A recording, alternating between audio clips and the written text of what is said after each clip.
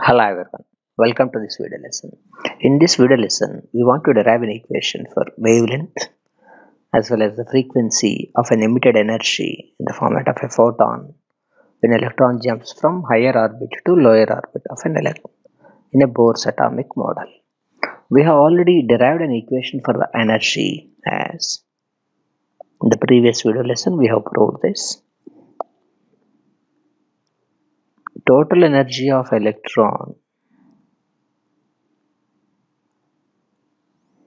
in a given orbit as energy equal to minus 13.6 z square by n square electron volt where z is the atomic number and n is the principal quantum number.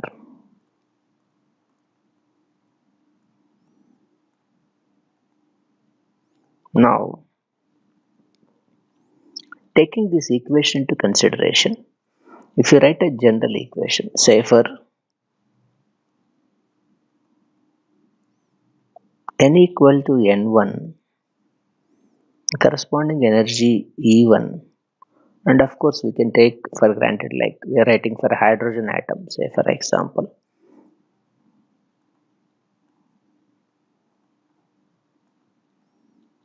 I can write Z equal to 1. If it is a hydrogen like item, like atom, we can write any value of the Z, but as of now we are writing for a hydrogen atom first. So E1 will become minus 13.6 by N1 square. Similarly, for n equal to n2, we can write E2 as minus 13.6 by n2 square. All these are the energies in electron volts. Then E2 is being obviously higher energy. The difference in the energy is E2 minus E1 will become minus 13.6 by n2 square minus minus 13.6 by n1 square. So this is 13.6 times of 1 by n1 square minus 1 by n2 square. That's the difference in the energies. Right? So you can write the difference in the energies as h nu because energy is emitted like a photon as 13.6 times of 1 by n1 square minus 1 by n2 square.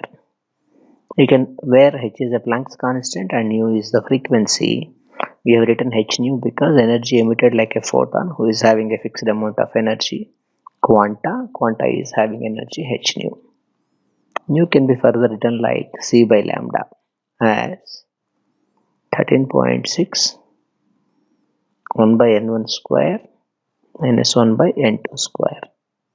That implies 1 by lambda can be written like 13.6 by hc of 1 by n1 square minus 1 by n2 square. This 1 by lambda is called something like wave number. If you know the lambda using a formula v equal to n lambda, we can also calculate a frequency. Anyway, 1 by lambda. If you anyway, if you can write substitute the value of Planck's constant 6.6 into 10 power minus 34 c 3 into 10 power 8 meter per second velocity of a light all that will be automatically constant because 13.6 is also constant all that constant together is called Rydberg constant the name of a scientist Rydberg where the value of that Rydberg constant is 1.097 into 10 power 7 meter inverse. This is how we can write an equation for the emitted wavelength. If you want to know the lambda equation, we can 1 by lambda equation, we can get either a lambda equation or a frequency equation. So basing on this equation, we will be able to identify the energy of the emitted photon as well as the wavelength of the emitted photon. Basing on the value of that lambda basing on the value of that lambda we can understand the kind of the energy that is emitted. And that energy emitted appears like a spectral line that's how we can get the spectrums. Like a spectral line.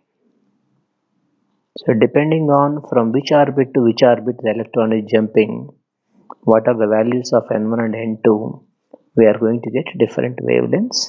Basing on the value of the wavelengths we can identify whether that spectral line falls in a visible region or infrared region or ultraviolet region. We'll be discussing about these different kinds of spectral lines of hydrogen spectra in this uh, equation in the next video lesson. So if it is say not for z equal to 1 for any other value you can write the value as something like uh, the value of Rydberg constant is as it is anyway z square also will come so if it is a hydrogen like atom z will be different from that of 1 more than 1 we can substitute that values and we can get a respective wavelength in that case also. Thank you for watching. Keep coming back for more and more video lessons. Thank you